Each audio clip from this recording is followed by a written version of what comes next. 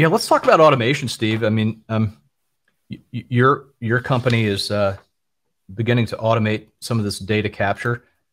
I, I think it's fair to say we kind of stand at the headwaters right now of uh, uh, a lot of this technology hitting the market. You know, I, I, know we'll see much more happening in the future, but can you help us understand, um, you know, how firms are thinking about automating data data capture and some of these reporting activities? Well, well sure. Um, you know, I think um, the, the, data that we've certainly gone through and, and the results of the survey show there's a real opportunity for organizations to uh, alleviate that manual burden um, and to get better insight into the selling process while frankly making their sales reps happier. I mean i think there's a there ought to be a satisfaction index in there of people who are just happy that they don't have to be doing these things. Um, but when we look at the, the the problem per se there's there's really two sides to it. One is the quantitative you know how many calls did i make? How many texts did i make? That sort of thing. And and we're looking at some things where we can link into your video conferencing system, catch into your your uh, your chat systems. You know, if you want to capture, you know, the sort of interactions via Slack or stuff you're doing with customers, that sort of thing. But but really capture those and then put, hey, there was a phone call. Hey, there was a text message. Hey, there was a whatever. So that uh, as a manager, if you're looking holistically at how your people are doing, you see, you know, I can see all of the emails that were sent. I can also see all of the calls that were made and whatever and and and you get that real good comparison of what's going on but really understanding the quantitative side of it that way the salesperson doesn't have to go find the i had a phone call screen and this is what happened screen and this is who i talked to. All that sort of captured bundled up packaged in we just shove it right into the crm form right through the mobile app. The, the second part of that really is the content associated with that engagement right?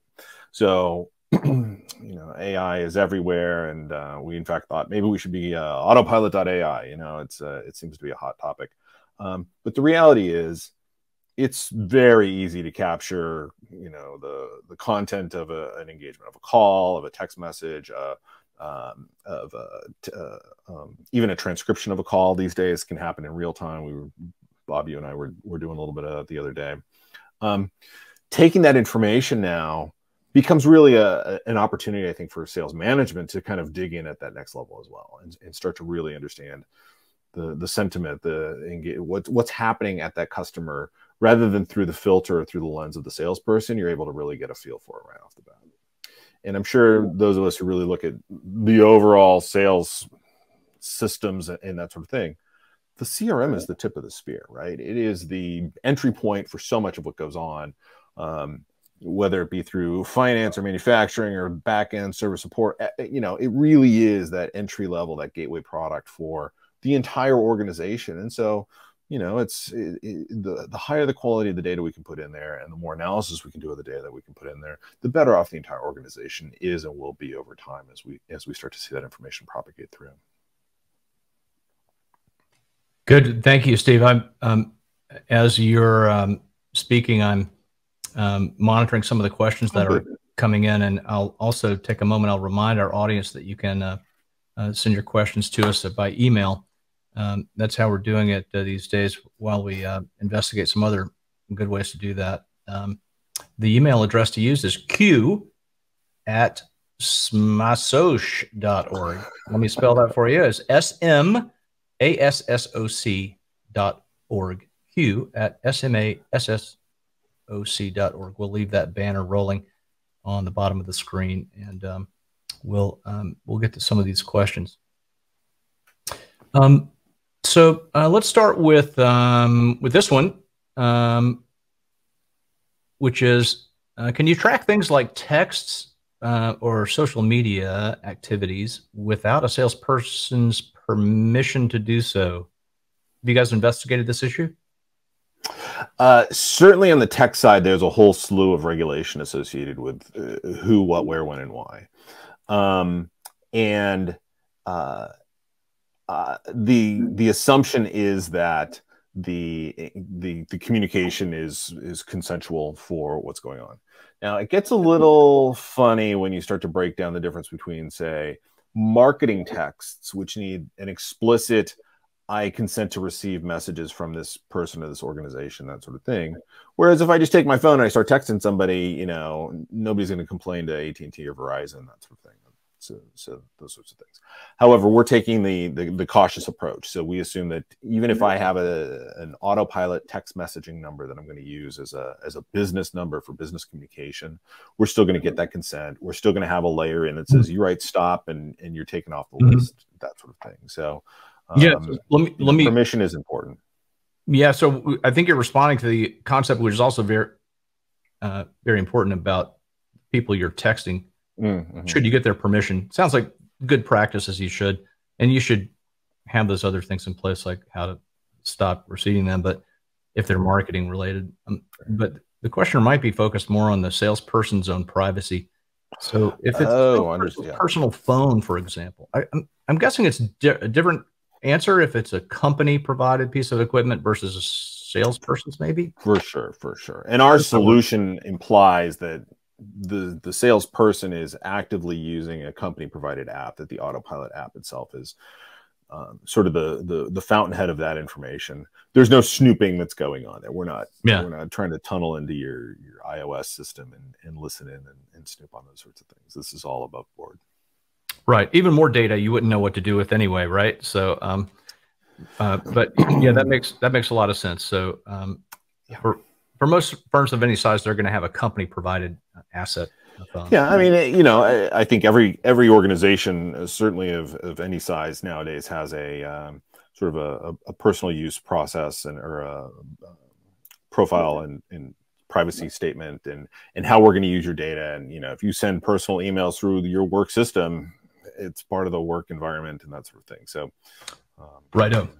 All right, so uh, let's get to another question, which is um, um, related to AI. Will AI solutions uh, require um, new skills from managers? Uh, you talked a little bit about this. Uh, I mean, mm-hmm. will this mean? Re- yeah, I mean, it's going to replace managers. No, I'm just kidding. Good. yeah. um, Don't be afraid.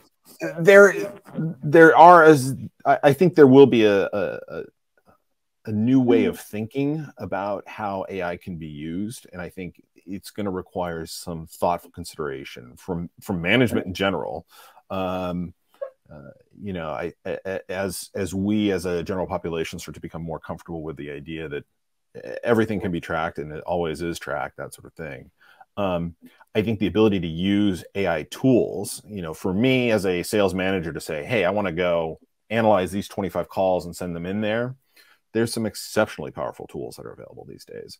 Um, I don't know that that's the best use of my time. And I do feel like there's going to be an interim role, whether that comes out of the or- IT organization or whatever, where, you know, if you're in sales operations, I would definitely get my hands on that and start to look at conversational AI and the tools that go along with that and how that can add value to the overall um, managerial reporting process that you're being asked to to take on.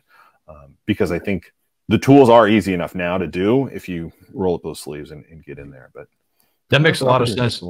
Yeah, I can see why uh, that's important for a, like a sales ops role because I, my guess is many of these off the shelf solutions uh, um, uh, don't have the context um, knowledge to uh, uh, adequately adapt. You know, um, to the organization.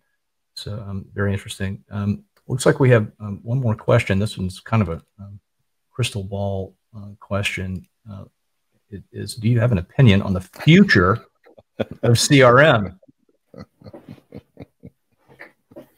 No. See, well, let's just say, you know, let's uh, let's consider that um, we're not on a webinar with the Sales Management Association. We are uh, at the circus and we're inside a tent and uh, we're reading fortunes and we're asked to provide you know what will life look like say in 10 years mm. uh, for the typical salesperson uh, and for the you know role of the firm who wants to um, collect activity data mm-hmm. Mm-hmm. you think we'll have a lot more of this automated i think we will have more automation on the data capture perspective. Um, uh, you know, I think so much of business is moving digitally and online and, and self-serve and that sort of thing. Does that does that have that just overall trend of how we don't want to talk to people anymore? It seems that, uh, but at the end of the day, people dealing with people that's that's the the way we work that's uh, civilization in general. So I, I, don't think it goes away. I think it will be transformed. Um, you know just one example popped into my head was uh, which is something which i thought thought was baffling but i talked to my kids and they're they're totally for it is now uh, concierge services at some hotels you can just text them what you want. And like well why wouldn't you just call them and talk to them well you know i'd just rather do these kinds of things it's still a community it's an interaction it's a communication between a client and a, and a service provider and and that information still should still be rolled up into my my crm but um, you know it's it's a lot of that digital it's a lot of that self-service that i think is is really going to start to take a continue to take a bigger role in in customer interactions. Yeah. Well good thoughts. Well thank you um, for opining uh, on that uh, curveball of a question. Um, so um, uh, we are up against the uh, end of the hour, sadly. So I do, um, just on a personal note, want to thank you, Steve, um, uh, also for the support of AutoPylot in uh, helping to us to do this research. Uh, uh, it's through your support in part that we're able to do research like this. And this is a really interesting study. So we just very much appreciate your partnership and your interest in this topic. We think the the findings will be helpful to our audience. So thank you. Yeah, well, we we appreciate your support. We came to you with the questions, and, and you helped us get answers to them, and uh, that's exactly what we're looking for. So um, I look forward to a, a, long and fruitful relationship with the SMA.